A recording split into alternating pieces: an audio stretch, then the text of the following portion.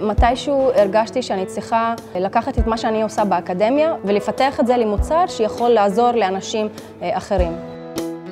ביחד עם השותף שלי, דוקטור אמיר בכר, אנחנו החלטנו להקים את נורמי מדיקל. אנחנו המצאנו ופיתחנו תרכובת של חומרים מיוחדים שמיועדים לרפא את רקמות הגוף ולעודד את הרקמות שמה לגדול מחדש.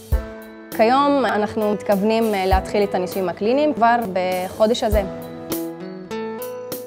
אני ממש ממש מקווה שנוכל אה, לספק אה, לא רק פתרונות לתחום הספציפי הזה שאנחנו התחלנו איתו, התחום של הנוירוכירורגיה, אלא גם לשאר התחומים וממש לרפא את רקמות כל הגוף ולא רק רקמת המוח. והחלום האישי שלי הוא להמשיך במסלול הזה של אה, להקים חברות בכדי לעזור לאנשים בכל מיני תחומים מסוימים.